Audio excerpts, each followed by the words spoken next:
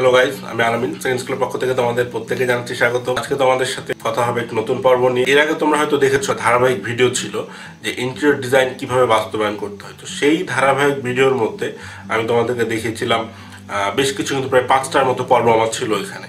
তো ওর মধ্যে ডিজাইনে তোমরা লক্ষ্য করেছ কিনা? কিছু কার্টেন বা পর্দা আমি ব্যবহার করেছি। তো এই পর্দাটার আসলে নাম কি? বা এই পর্দাটা কীভাবে ব্যবহার করতে হয়?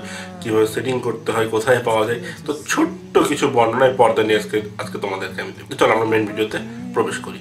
আর তার পূর্বে বলব যে তোমাদের মধ্যে যে architecture interior design three design এই বিষয়গুলোর প্রতি আগ্রহ রয়েছে, তারা অবশ্যই আমার চ্যানেলটিতে সাবস্ক্রাইব করে নেবে। ভবিষ্যতে এই টাইপের ভিডিওগুলো পাওয়ার জন্য। Let's go to computer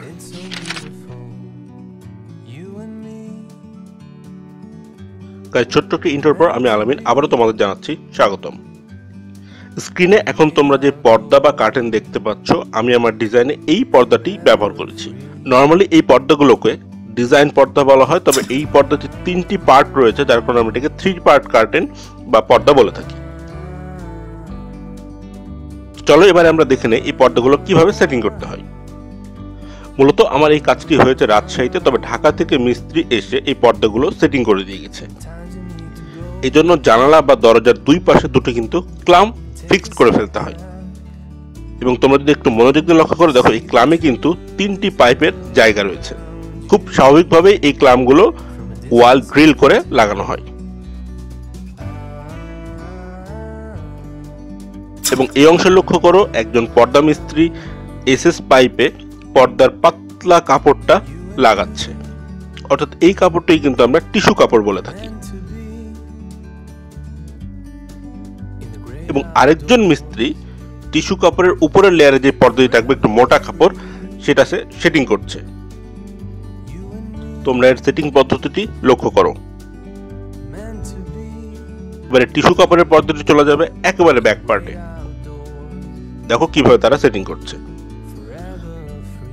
পর্দার ক্লামে যে তিনটি লেয়ার রয়েছে, তার একেবারে শেষের লেয়ারে এই টিস্যু কাপড়টি তারা সেট করবে।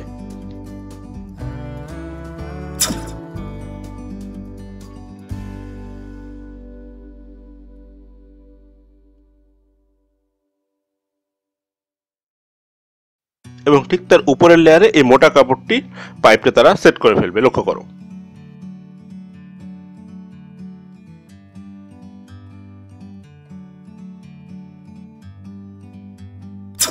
দেখো, টিস্যু কাপড়ের উপরে কীভাবে তারা এই মোটা কাপড়টির পাইপটি সেট করছে, লক্ষ্য করো কিন্তু বিষয়টি।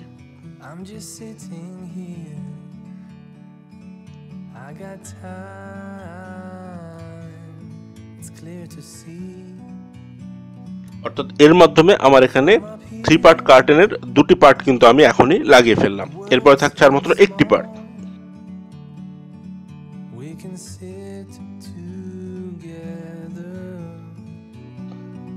ভিডিওর এই অংশ তোমরা লক্ষ্য করো লাস্ট পার্টটি অর্থাৎ সবার উপরের পার্টটি তারা কীভাবে সংযুক্ত করছে পাইপের সাথে এবং কীভাবে এটা সেটিং করবে.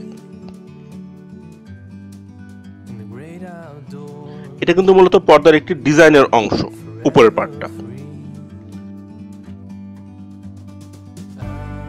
এটি অনেকটা দেখতে ঝালরের মতো এসএস পাইপের সাথে তারা সেট করে একেবারে উপরের অংশে লাগিয়ে দেবে।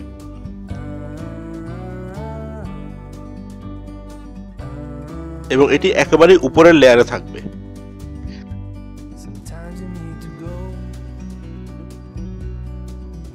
Take a step back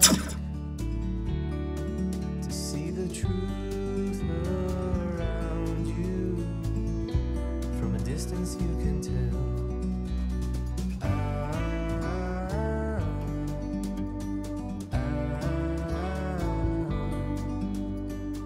আর এই যে এবার লক্ষ্য করো পর্দাটি সেটিং হয়ে যাওয়ার পরে কেমন লাগছে? এই ছিল আমার ডিজাইনে ব্যবহার করা থ্রি পার্ট কার্টেন বা ডিজাইন পর্দা। তো এই পর্দাগুলো বিভিন্ন জায়গাতেই পাওয়া যায়। বিশেষ করে ঢাকার গুলশান, বর্ণে এরিয়াতে এবং কার্টেনের দোকানগুলোতে অনেক সুন্দর সুন্দর বিভিন্ন রকমের পর্দা রয়েছে। তোমরা ইচ্ছা করলে সেখান থেকে সংগ্রহ করে নিতে পারো। আর এটা দামের ব্যাপারে আমি এখানে কিছুই বলব না। যদি তোমাদের কারোর প্রয়োজন হয় এটার দাম বা কস্টিং জানা, সেক্ষেত্রে আমাদের সাথে যোগাযোগ করলে আমাদের ফেসবুক পেজের মাধ্যমে আমরা অ্যান্সার তোমাদেরকে দিয়ে দেবো। সব শেষ অংশে তোমরা দেখো, আমার ওয়ালে কিন্তু কিছু পাখি, ফুল, একটা ডিজাইন দেখা যাচ্ছে, গাছের ডালপালা, যেটাকে বলা হয় ইলিউশন পেইন্ট তো নেক্সট আমি ভিডিওতে তোমাদেরকে ইলিউশন পেন্ট নিয়ে কিছু আইডিয়া শেয়ার করব। সেই পর্যন্ত সবাই ভালো থাকবে, সুস্থ থাকবে, এবং আমার চ্যানেল যদি সাবস্ক্রাইব করা না থাকে, অবশ্যই সাবস্ক্রাইব করে নেবে। Thank you